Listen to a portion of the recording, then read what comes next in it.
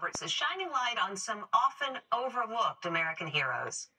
It's the greatest story never told until now. Robin Roberts' latest project is a documentary called The Harlem Hellfighters, an African American military regiment from Harlem, formed in 1916 to fight in the conflict that was supposed to be the war to end all wars. Over there,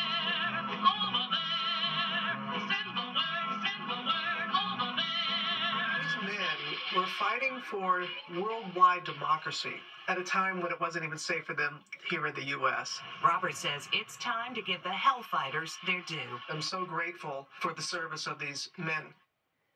The Harlem Hellfighters premieres February 4th on the History Channel. Now here's Meg.